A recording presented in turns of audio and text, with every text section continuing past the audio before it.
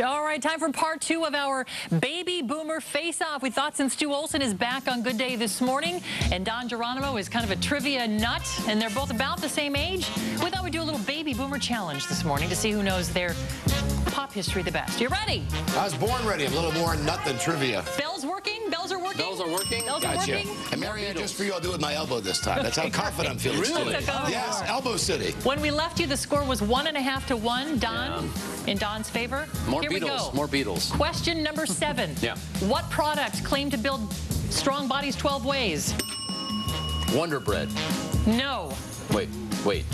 No, that wouldn't have built. Did you ring You know, no, I have not it was- rung in because I do not know. I do not know. What is it? 12 bodies. Flintstone vitamins is the Wow. answer. Oh, Yabba Dabba Dooski. Boy, I was so confident it was Wonder Bread. You were very You confident. can it take was one Wonder away Bread. from Stu on that one. All right. I Number don't have nothing. eight. Yeah. Who said, this is a quote, don't trust anyone over 30? Stu.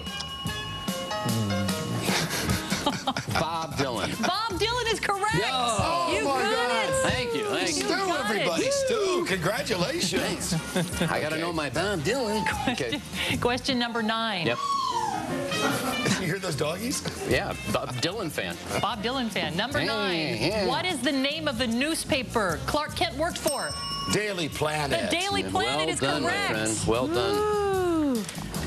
Ooh. And the last question, number Last 10. one. Here it comes. The score is two and a half Don to Stu, two. Oh. Stu, you can win it I with could. this question. I You could. could Could win I, it all. So Are you could I. ready? Bring on Beatles. Question.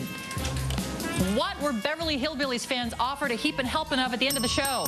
Hospitality, hospitality. Stu!